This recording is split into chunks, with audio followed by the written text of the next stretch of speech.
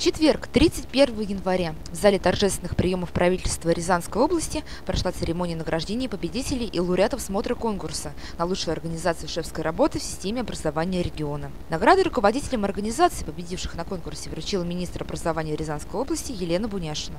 Мне хотелось бы поблагодарить именно Союз, Союз образовательных учреждений и тех людей, которые сегодня выполняют важную задачу развития социально-экономической а, Рязанской области.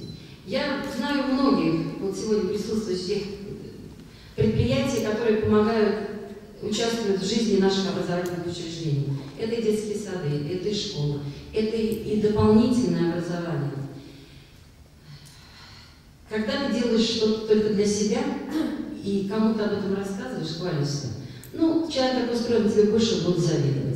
Когда ты делаешь для других, то эта радость размножается.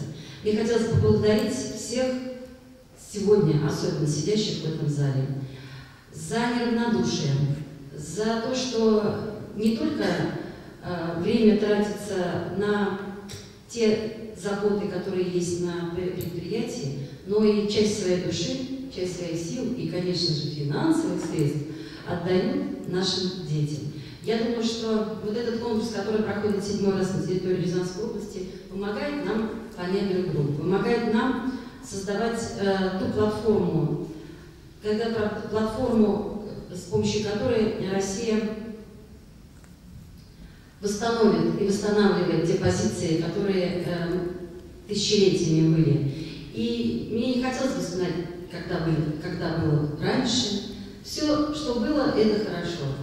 Э, мы сегодня должны понимать, что мы сегодня живем, и что у нас должно быть и есть будущее, в том числе наши дети. Большое всем спасибо, здоровья, любви, добра, нам новых успехов.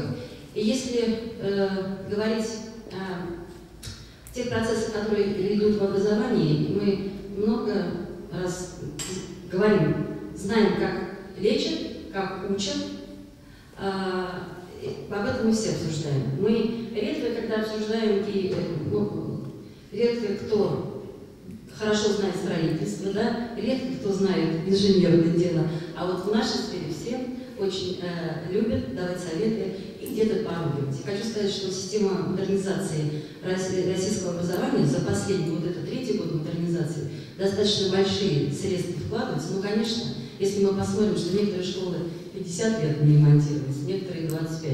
У нас сейчас с вами есть возможность помочь нашим образовательным учреждениям. Спасибо, здоровья, добра, любви и новых успехов!